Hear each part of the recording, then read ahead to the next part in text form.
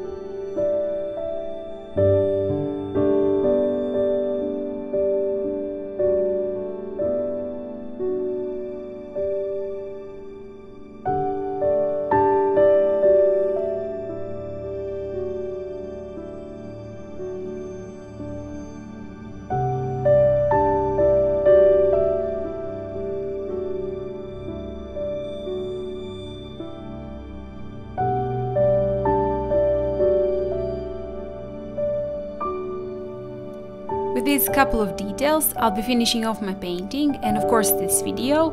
Thank you guys a lot for watching and if you did like it, please like, comment, share and if you haven't still subscribed to my channel, thank you again and I hope I'll see you next time. Bye!